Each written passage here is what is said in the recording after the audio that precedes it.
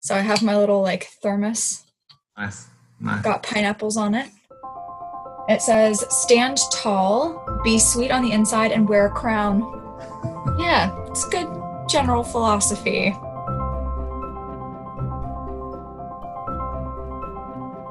Okay, this question's from Rachel in Christchurch.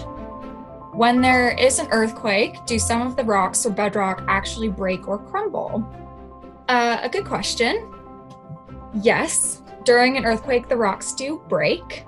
Um, as rocks are squeezed, they store energy, and the amount of squeezing, it, when it exceeds the breaking strength of the rocks, the rocks might break and release that energy as heat and seismic waves. And it's those seismic waves that are the earthquake.